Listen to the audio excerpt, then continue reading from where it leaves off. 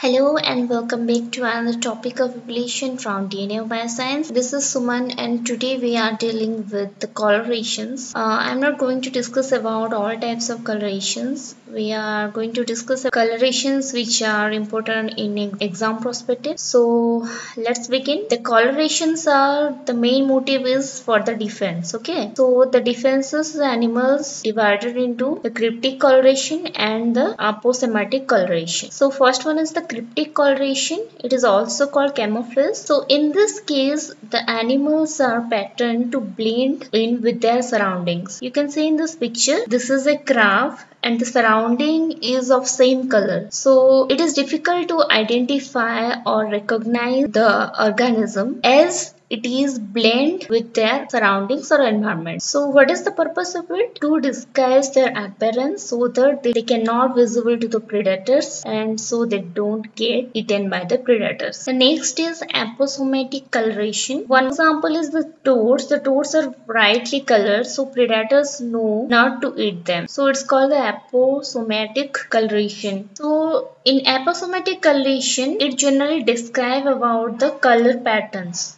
okay you can see these are various color patterns which is a kind of warning to the predators that uh, the prey species is unpalatable toxic or dangerous. So as these colored individuals are dangerous or unpalatable or distasteful, the pattern is known as warning coloration or aposematic coloration. This is an example of larva of the monarch butterfly. So the milkweed leaves, this is the leaf which secrete the milkweed on which it is feeding, contain the cardiac glycoside that are toxic to vertebrates because they block the activity of the sodium potassium ATPase that is essential for many cell functions. So the larva stores this within its body and so becomes unpalatable to vertebrate predators. The chemicals remains in the body even after metamorphosis so that adults are unpalatable as well. So one question is which type of coloration helps a prey species advertise to predators that it is unpalatable.